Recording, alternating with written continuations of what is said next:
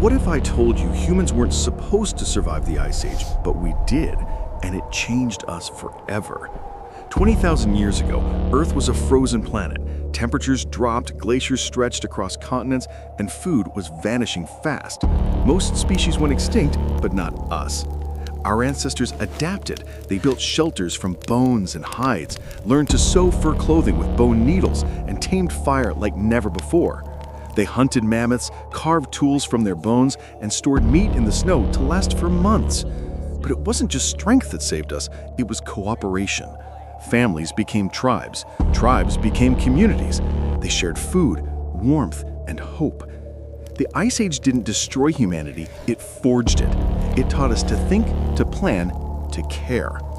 We didn't just survive the cold, we became unstoppable because of it.